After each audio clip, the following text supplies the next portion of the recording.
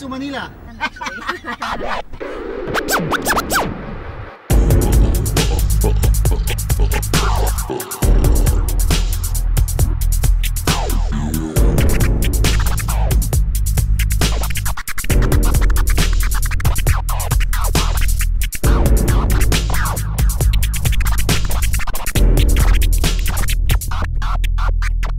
มาถึงมะนิลาอย่างเป็นทางการแล้วนะคะ และเมื่อถึงที่นี่ค่ะ ที่แรกที่ต้องมาค่ะสำหรับนักท่องเที่ยวจากทั่วทุกมุมโลกเลยนะคะ ไม่ว่าจะมาจากที่ไหน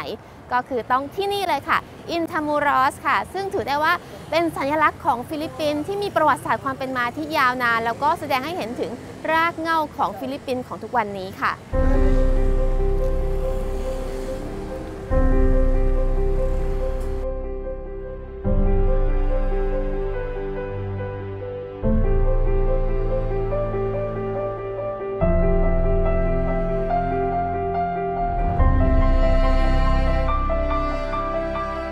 บริเวณนี้เมื่อประมาณ 500 ปีที่แล้วค่ะ ก็คือจุดเริ่มต้นของอินทรามูรอสค่ะ ซึ่งเขาสร้างขึ้นมานะคะในสมัยที่สเปนค่ะมายึดครองฟิลิปปินส์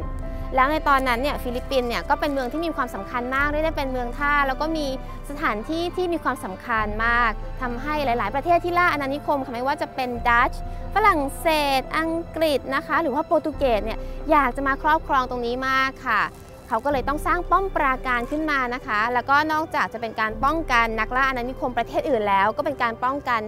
โจรสลัดด้วย แล้วก็ป้องกันชาวฟิลิปปินส์ที่เป็นชาวท้องถิ่น ซึ่งอาจจะไม่พอใจนักนะคะ ในการที่สเปนมายึดครองฟิลิปปินส์ไปค่ะ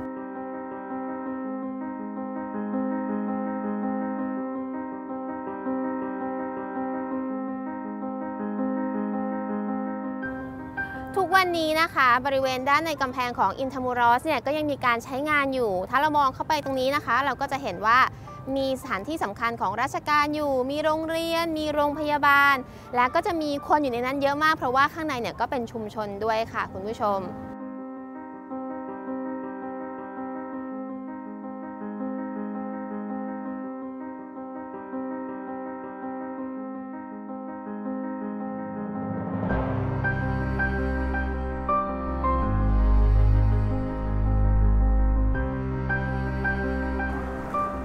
มาถึงใจกลางอินทามูรอสนะคะ นี่ก็คืออีกสถานที่ที่ต้องมาค่ะ ซึ่งก็คือคาซามะนิลาค่ะ เป็นพิพิธภัณฑ์มีชีวิตของที่นี่ ถ้าเราเข้าไปด้านในนะคะ เขาก็จะบอกเล่าถึงเรื่องราวของการใช้ชีวิตของชนชั้นสูงสเปนในสมัยก่อนนั้นเลยค่ะ แล้วก็มีการตกแต่งแบบสเปนค่ะ ซึ่งว่ากันว่านะคะ มีความสมบูรณ์มากกว่าข้าวของเครื่องใช้ที่อยู่ในสเปนซะอีกค่ะ